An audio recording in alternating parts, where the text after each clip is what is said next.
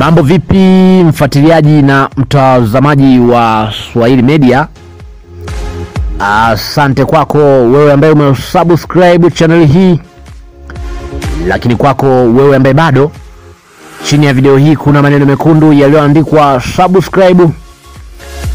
Gusa maneno hayo ili kupata kila taarifa tunayo kusogezea. Kama nilivyokwambia hapo awali, chaneli pekee ya kupata taarifa za kimichezo zenye uhakika na zenye ubora ni Swahili Media pekee.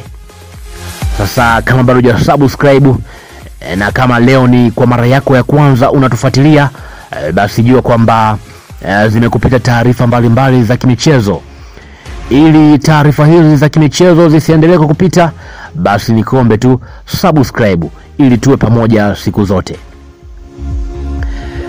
Matumaini ya Yanga na Azam kushiriki ligi ya mabingwa Afrika na kombe la shirikisho Afrika huenda yakatimia endapo kauli ya shirikisho la soka Afrika CAF kuiondoa Libya katika nchi ambazo zinatoa timu nne kwenda kushiriki mashindano ya kimataifa. Yanga na Azam wanaweza kupata nafasi hiyo kwa ya kwenda kimataifa msimu ujao kama watafanikiwa kumaliza katika nafasi ya pili na ya tatu kwenye msimamo wa ligi kuu ambapo wataungana na bingwa wa nchi Simba na Namungo katika kuiwakilisha nchi kwenye mashindano hayo makubwa.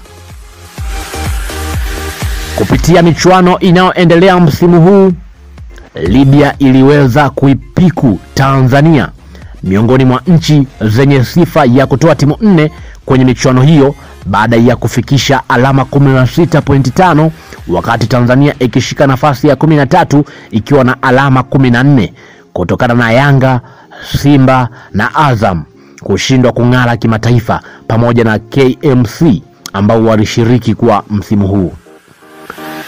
Kwa mujibu wa mtandao wa Libyan Express, kafu wameshaiondoa Libya kwenye michuano ya ligi ya mabingwa Afrika msimu wa 2020-2021 kutokana na kushindwa kumalizika ligi na hata walipositisha haikuwa imechezwa kwa asilimia hamsini.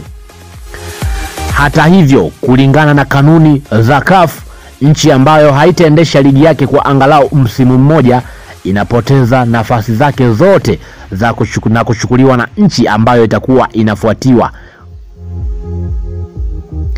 Hivyo Libya wao ligi yao ilisimama kutokana na uwepo wa virusi vya korona.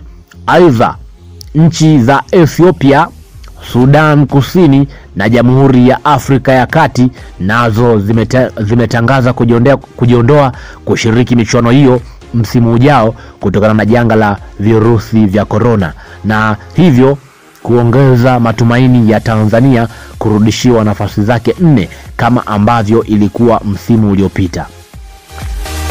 Kama hili litatokea, klabu za Yanga na Azam zitaungana na Simba na Namungo ambazo tayari huenda e, zikawa zimekata tiketi moja kwa moja. Timu itakayomaliza nafasi ya pili itacheza ligi ya mabingwa sawa na Simba, wakati ile itakayomaliza nafasi ya tatu itacheza kombe la shirikisho sawa na Namungo. Upande wa rais wa shirikisho la soka Tanzania TFF Wallace Karia aliwahi kunukuliwa akisema bado hatujapokea taarifa rasmi kutoka CAF, ingawa ni kweli kuwa taarifa ya Libya kuondolewa kwenye michuano hiyo tumeziona. E, kwa hiyo tuwe na subira. Kwa upande wa mkuu wa idara ya habari na mawasiliano ya Azam ambao na wenyewe wanaweza wakapata bahati hiyo, Thabiti Zakaria Zaka za kazi alisema kuwa unajua, sisi tunahitaji zaidi kushika nafasi ya pili kwa sababu kuna uwezekano Libya wakaondolewa kucheza klabu bingwa. Hivyo nchi ambayo itachukua, itachukua nafasi hiyo ni Tanzania, na ikiwa hivyo zitakwenda timu nne na sisi tukiwepo kama tukishika nafasi ya pili.